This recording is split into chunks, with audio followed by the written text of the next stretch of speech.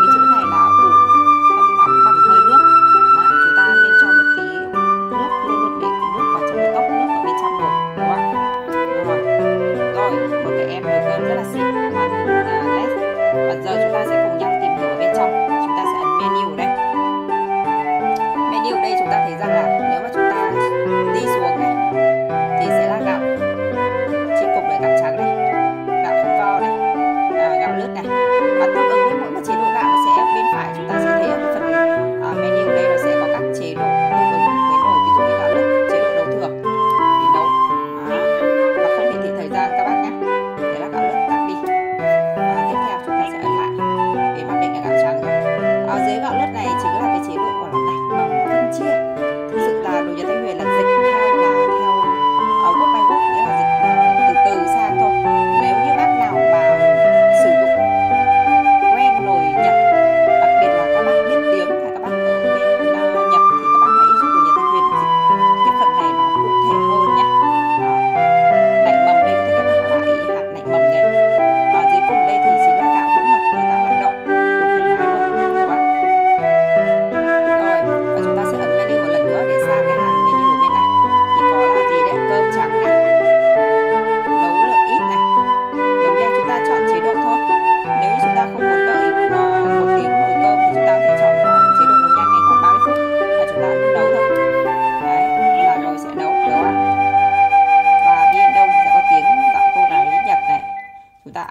để xa cái hàng này được không ạ?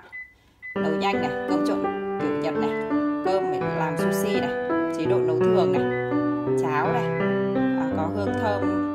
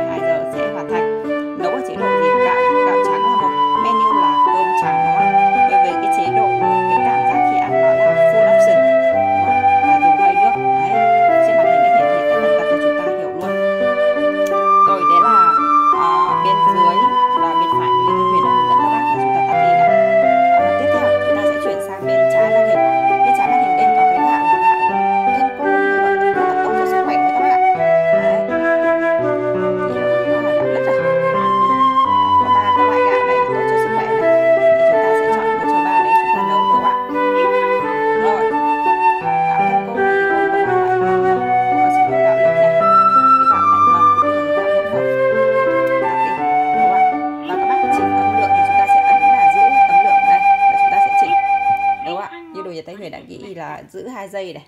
In lèng lèng mèo dài chúng ta ấn và giữ hai giây để chỉnh cái tăng giảm cái âm lượng này lên. Và trên đây thì đội nhà thanh huyền đã hướng dẫn rất là chi tiết rất là cụ thể